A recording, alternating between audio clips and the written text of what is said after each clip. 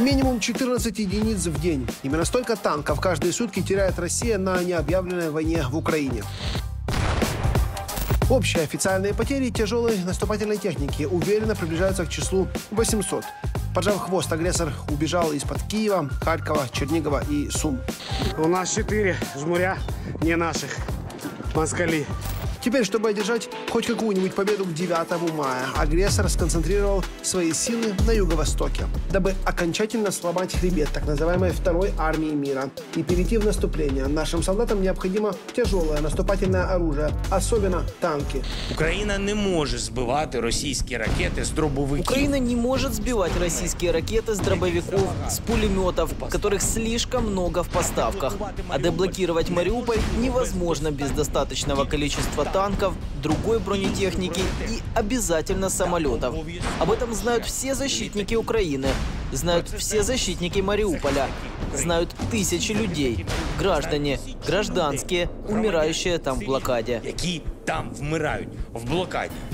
До начала войны в украинской армии было 858 танков. У России почти три с половиной раза больше. Несмотря на то, что агрессор уже потерял четверть своего танкового потенциала, он все равно имеет преимущество в наступательной технике.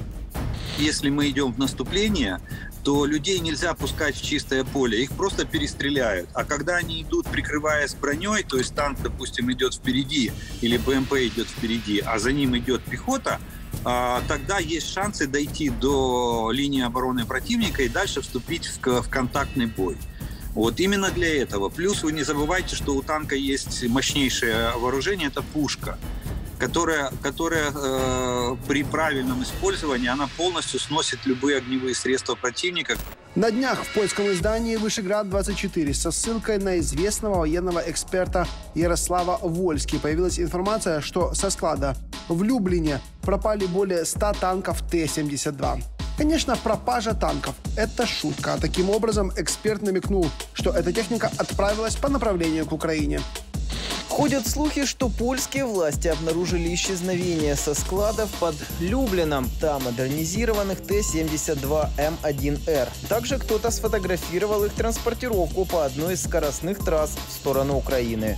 Возможно, эти боевые машины уже воюют на Востоке, так как модернизированные Т-72 уже давно стоят на вооружении украинской армии.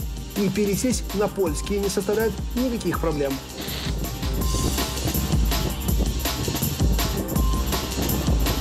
После нежелания официального Киева принимать федерального президента Германии и выступления Зеленского про необходимость тяжелого вооружения, украинской дипломатии удалось додавить немецких политиков.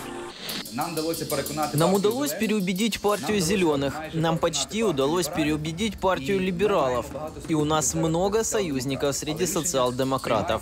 Конечно же, решение будет приниматься федеральным канцлером. Речь идет именно про танки и тяжелые гаубицы 155 миллиметров. 155 міліметрів. Речь идет о танках «Леопард-1». 50 машин, которые в ближайшие несколько недель могут поступить на вооружение украинских танкистов. Если сравнить «Леопард-1» и Т-72, у них почти одинаковая масса.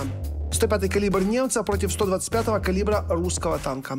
По два пулемета калибра 7,62 у обоих. Также одинаковая скорость по шоссе 60 км в час. Но за счет более мощного двигателя «Леопард» имеет 100 км в преимущество в запасе хода.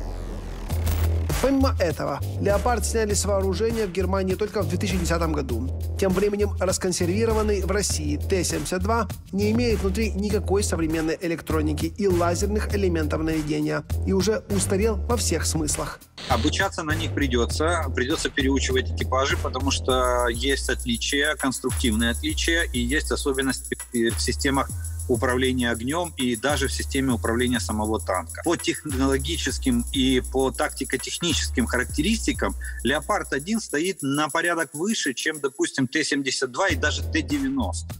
Чтобы забрать украинские территории назад, нам необходимо любое наступательное оружие. Мотивации и желания украинскому войску не занимать. Но, как известно, глупо ходить на медведя с голыми руками.